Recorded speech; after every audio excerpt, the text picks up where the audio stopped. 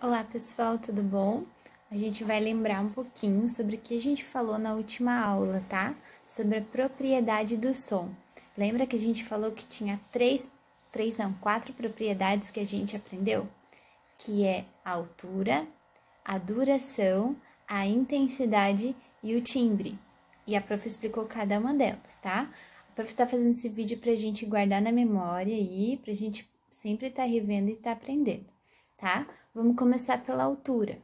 A altura na propriedade do som nada mais é do que quanto mais grave ou mais agudo esse som é. Quando a gente fala em altura, geralmente a gente pensa no volume, né? Mas não é no volume, é no grave e agudo. Por exemplo, quando a gente escuta um trovão, né? É um som mais grave, porque ele é um som mais fechado vamos supor assim, um som mais grosso, como a gente, algumas crianças explicam, né? Então, ele é um som mais fechado, assim. E um som agudo, a gente pode interpretar como o som de uma colher batendo na, na panela. Pem, pem, pem, pem. Então, ele é um som mais fininho, né? Que dá mais ou menos pra gente poder entender. É, para vocês poderem entender melhor, sempre associar assim, ó, o grave é aquilo que é mais, mais fechado e o agudo é aquilo que é mais aberto, né? Ele geralmente ele incomoda mais os ouvidos, né? É, por exemplo, numa bateria, lá no bumbo onde a gente bate o pé, a gente escuta um som grave, tum tum tum. E o som agudo numa bateria, a gente escuta quando a baqueta bate no prato. Pem, não dá raio, dá aquele barulho assim fininho. Então, é mais ou menos assim para vocês poderem entender é, graves e agudos, tá? A próxima propriedade que a gente aprendeu foi a intensidade, que é a quantidade de força que a gente coloca né, nesse som. Eu fiz as fichinhas, lembra que a prof mostrou? Por exemplo, aqui, essa fichinha aqui. Eu fiz todas as fichas com a mesma letra, para vocês terem essa noção. Aqui, todas as letras são grandes e a letra A. Então, vai ficar A, A, né? Bastante força. A, como se estivesse gritando. Então, ela é grande. Intensidade forte. Aí, aqui, eu fiz a letra menor. Olha só que interessante. Ó, tá vendo a diferença? Fiz a letra menor. Então, a intensidade é mais fraca. Então, é A, a mais fraquinho, A, A, e assim vai, tá? Então, esse aqui, intensidade mais forte, e esse aqui, intensidade mais fraca, tá? E a duração? Como que funciona a duração? A duração é o espaço de tempo que esse som está acontecendo. Por exemplo, ele dura muito tempo, ele é um som longo, ou ele é um, um, som que é rápido, logo ele acaba. Ele é um som curto. Então, é, é a, a duração é o espaço de tempo que o som acontece. Por exemplo, eu trouxe aqui os sons, tá? A bolinha representa o curto e o risco representa o longo. Então, como ficaria? Tim, tim, tim, tim, tim, tim, tim, tim. Entenderam? A bolinha representa o curto, a linha representa o longo.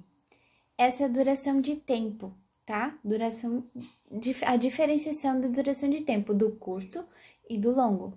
Outra propriedade que a gente aprendeu na nossa aula, né? E por último, o timbre. O timbre eu gosto de explicar para vocês mais ou menos como se a nossa memória fosse uma mochila. E tudo que a gente escuta, tudo que a gente ouve, fica guardado lá na memória. Às vezes a gente escuta, mas nem tá prestando atenção, mas a gente escuta. E aí fica tudo lá guardado dentro dessa mochilinha. Quando a gente escuta depois uma outra vez, a gente já associa com o que estava na mochila. Peraí, prof, eu não entendi. Eu já vou explicar. Por exemplo, assim, a mãe de vocês está fazendo comida na cozinha e ela bateu a colher na panela. Aí o som de, da, da colher batendo no metal ficou gravado na sua memória. Quando você escutar de novo esse som da colher batendo no metal, você já vai reconhecer que é som de metal sendo batido. Por quê? Porque está gravado lá na sua memória.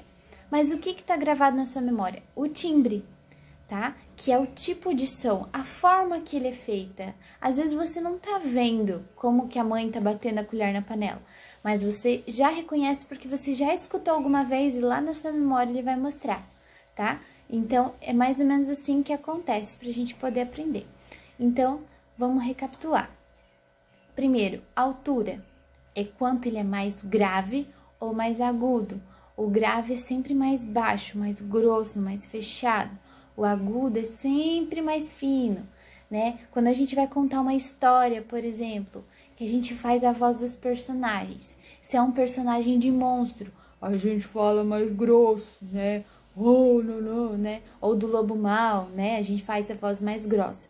Quando é a voz de um personagem, por exemplo, uma formiguinha, a gente faz a voz bem fininha, né? Lá em cima, bem fininha. Então, essa é a diferença da altura grave, que é o mais fechado, e o agudo, que é o mais aberto, né? Que é aquilo que é mais fininho, vamos supor assim, tá? Segundo, intensidade, quantidade de força que a gente coloca nesse som. Se a gente tá gritando, se a gente tá sussurrando né? Lembra da fichinha do Azinho que a prof fez? O A forte é aquele que a gente grita, A, bem forte. E o A pequenininho é aquele que a gente bota menos força, então é o A, bem simples, bem calmo, tá? Então, ele funciona dessa forma, tá? Quanto mais força para gritar, mais intensidade ele tem. Quanto menos força, mais sussurro, menos intensidade ele tem, menos força ele tem, tá? Duração: quanto tempo dura um som no, no espaço de tempo? Ele é curto ou ele é longo? Quanto tempo ele dura? Só lembrar, ó, duração, tempo que ele dura, tá? Então, é, espaço, é som curto ou som longo? É só lembrar das fichinhas do ponto e do tracinho, tá? O do pontinho, som curto do traço som longo. Então, se é um som curto, tem, tem, tem, é aquilo que é marcado e acaba mais rápido. E o som longo é aquele que fica tim, ele demora para acabar, tá? Então, dessa forma. E o timbre é aquele da nossa mochila da memória, que é aquele que todos os sons que a gente escuta fica guardado na memória. Quando a gente escuta de novo, a gente vai reconhecer esse som, vai reconhecer esse timbre, de como que ele foi feito, de como que ele é produzido, com o que que ele é produzido, é com metal, é com madeira, é com porque cada coisa tem um som diferente. Então a nossa memória vai guardando esses sons e vai reconhecendo, certo? A atividade a prof vai postar lá no didático para vocês fazerem, tá bom? Beijo, até a próxima aula.